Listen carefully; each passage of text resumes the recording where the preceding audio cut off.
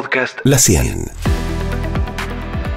Te doy la bienvenida al podcast Legalmente de la 100, donde hablamos de derechos y obligaciones para el día a día. Hoy vamos a hablar de un tema que tiene que ver con el largo plazo y por ende a veces no le prestamos mucha atención.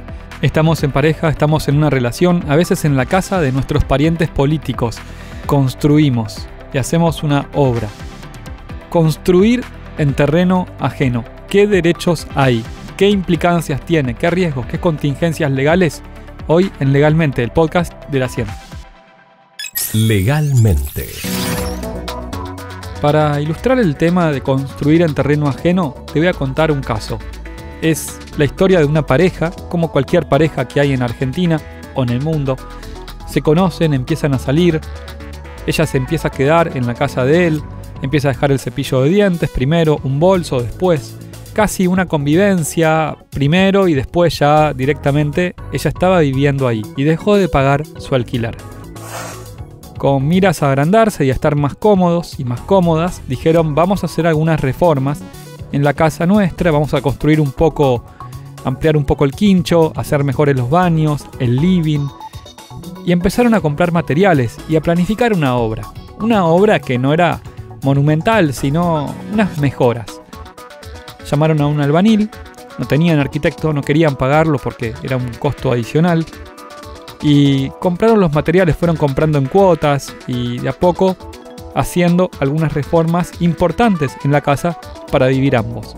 Recordamos, como dije, la casa era de él, pero ella también está viviendo ahí y también aportó para esa obra. Pasado un tiempo la relación se terminó. Las cosas fueron mal y directamente decidieron cortar ella decidió irse. Podía haber tenido derecho a una compensación económica en ciertos casos, en algún podcast lo vamos a charlar, qué pasa al separarse, qué pasa con la convivencia, qué pasa si vivieron más de dos años y una parte se dedicó a la casa y la otra parte a lo profesional, qué derechos tenemos. Los podés leer también en la web de Derecho en Zapatillas sobre el tema de unión convivencial.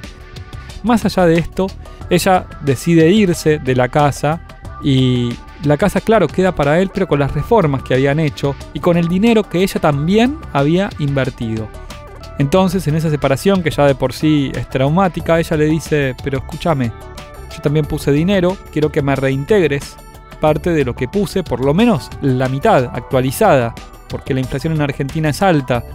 Y, él le dice, no, en realidad nosotros solamente estábamos de novios, y no, no habías aportado mucho, yo puse casi todo, así que no, no te corresponde, negándole todo derecho. Inician una mediación que fracasa porque no llegan a un acuerdo y todo termina en un juicio, en una demanda, en la cual ella demanda a él por enriquecimiento sin causa, así se llama la acción. Cuando una parte se enriquece a costa de la otra y no hay un derecho que justifique ese enriquecimiento, entonces hay una acción civil, legal, enriquecimiento sin causa. Es una acción que se llama a nivel técnico subsidiaria y como de última instancia, porque si corresponde otra acción legal, en realidad se aplica esa. Pero esta acción se aplica cuando no hay otras vías para hacer valer algo que en este caso era justo.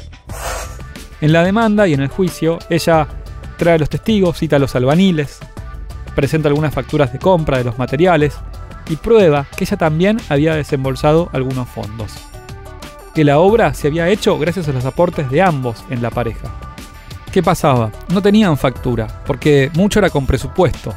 ¿Te suena? Argentina, muchas compras se hacen de manera informal, descuento 10% efectivo, pero después, a la hora de la prueba y mostrarlo cuando hace falta, se complica. Eso pasó en este caso, así que el caso no era tan claro. Pero de analizar la prueba y de los indicios se trata también el derecho y la justicia.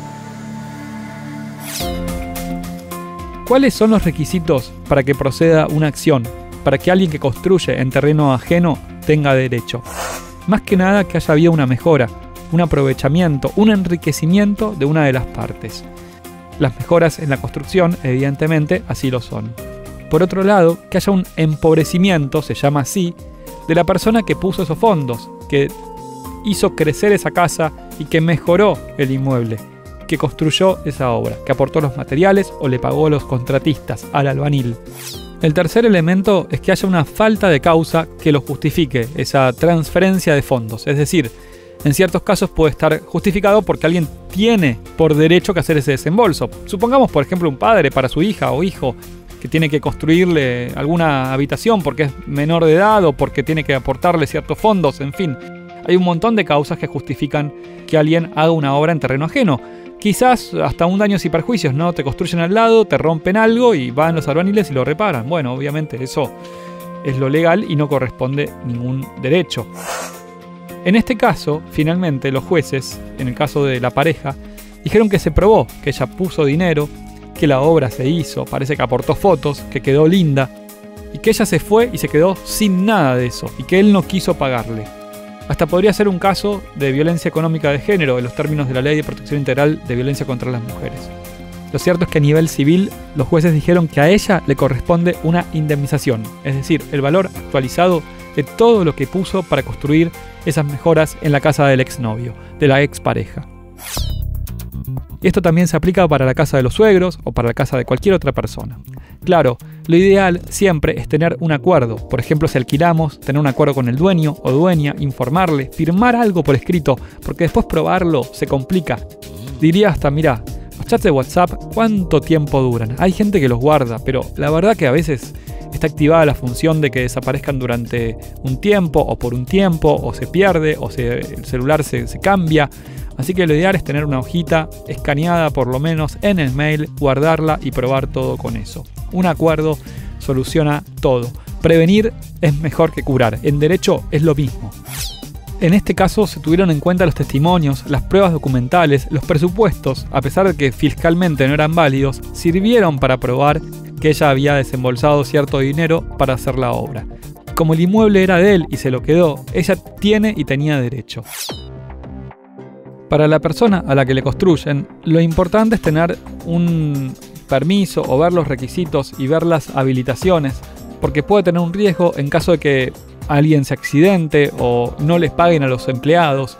Hay una responsabilidad y hasta puede sufrir un embargo. Así que también es importante controlar en caso de que una persona sea la dueña del terreno a donde se construye. Quién entra a trabajar, que tenga los seguros, las condiciones de seguridad y todo lo demás que es básico.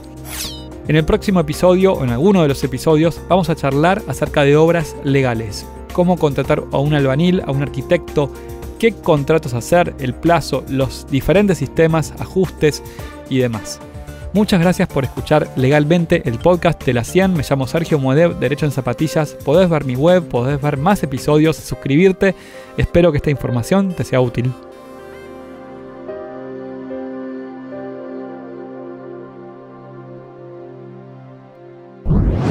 Podcast La 100.